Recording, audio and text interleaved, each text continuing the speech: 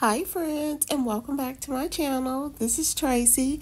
So today guys we're shopping at Ashley Furniture and so we're looking at the um, outdoor furniture so patio and backyard furniture.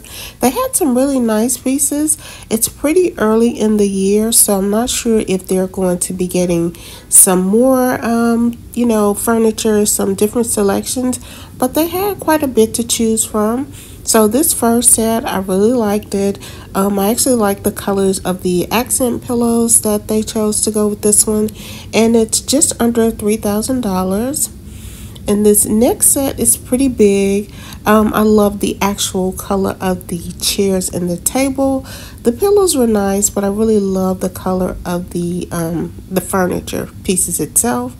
And then this set was just under $2,000. I even like the rug that they chose to go with it. And then this is more of a high bar, um, like table set or outdoor set. And I was shocked by the price of that bowl of moss. It's $139. And then this set had, um, it was the most colorful with the rug and the accent pieces. So if you like, you know, a colorful set during the summertime, this may be an option for you. This was the largest um, selection that I saw, or the largest um, sectional that I saw. And then this bar cart. Love the bar cart. And I thought it was a, a good price. It's $199. And so for what you get, and it seemed pretty sturdy, I thought that was a pretty fair price. And it also comes in black. And so you'll see the black one next. And there's the black one.